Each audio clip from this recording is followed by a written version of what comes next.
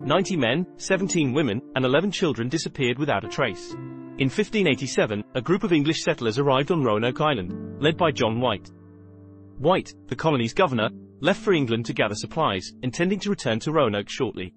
However, due to the outbreak of the Anglo-Spanish War, White's return to the colony was significantly delayed.